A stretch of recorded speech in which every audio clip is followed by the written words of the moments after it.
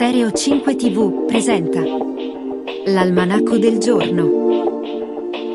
In studio Luigi Comentale. Oggi è mercoledì 13 settembre 2023, la Chiesa ci ricorda di festeggiare San Maurilio e San Giovanni Cristosomo.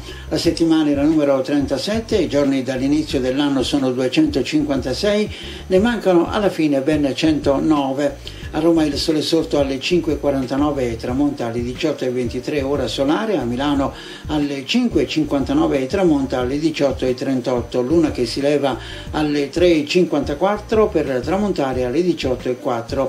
Il proverbio abbinato a questa giornata, ogni mortaio trova il suo pestello.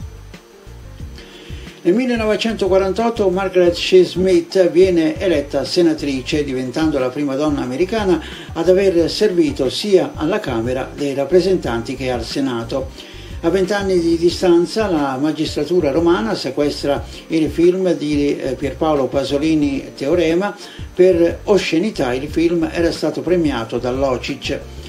Nello stesso anno l'Albania esce dal patto di Varsavia, nel 1970 c'è la prima edizione della maratona di New York, nel 1982 la principessa Grace rimane gravemente ferita in un incidente stradale in cui riporta due emorragie cerebrali, muore all'indomani all'età di 52 anni senza aver mai ripreso conoscenza. Trent'anni dopo, nel 1985, esce in Giappone Super Mario Bros.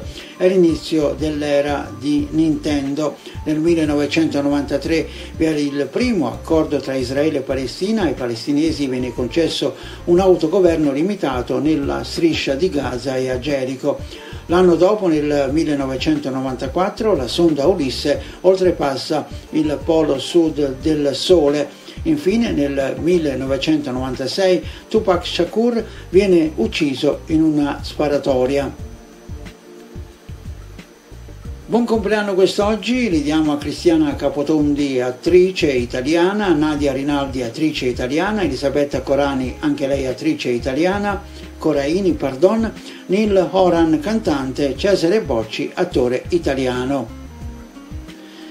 Ci lasciano oggi nel 1592 Michel de Montagnier, fu uno dei pionieri del pensiero moderno e uno degli aforisti più apprezzati, nato a Bordeaux nel sud-ovest della Francia. Del 96 ne abbiamo già parlato, Tupac Shakur, rapper e attore statunitense salito alla ribalta negli anni 90 e per finire nel 1928 Italo Svevo, il più europeo degli scrittori italiani a cavallo tra l'Ottocento e il Novecento.